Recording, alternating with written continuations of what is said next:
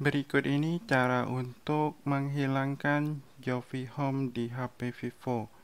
Untuk kalian yang menggunakan HP Vivo, pasti di sebelah kiri layarnya ini, ketika digulir pasti ada Jovi Home.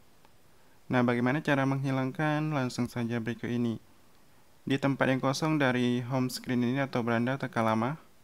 Di tempat yang kosong, nanti kalian lihat di sini ada yang namanya pengaturan. Kemudian kalau tidak bisa tekan lama, misalnya icon di sini penuh, gunakan dua jari kalian, ciutkan ke dalam, pakai dua jari, seperti ini.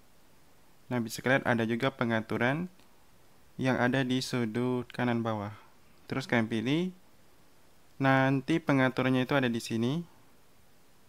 Pengaturan lainnya, kalian pilih yang ini, Jovi Home.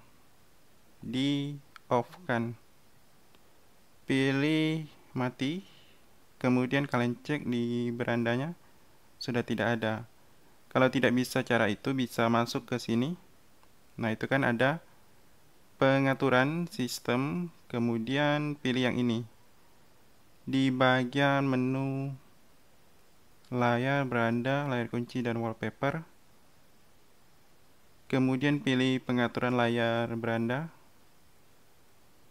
dan seperti tadi pilih pengaturan lainnya dan Jovi Home ada di sini. Itu saja semoga bermanfaat.